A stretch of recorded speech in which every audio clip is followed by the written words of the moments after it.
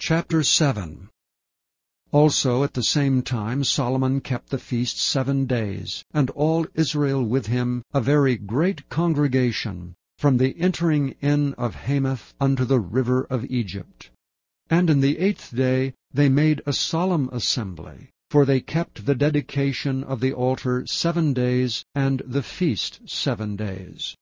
And on the three and twentieth day of the seventh month he sent the people away into their tents, glad and merry in heart for the goodness that the Lord had showed unto David, and to Solomon, and to Israel his people.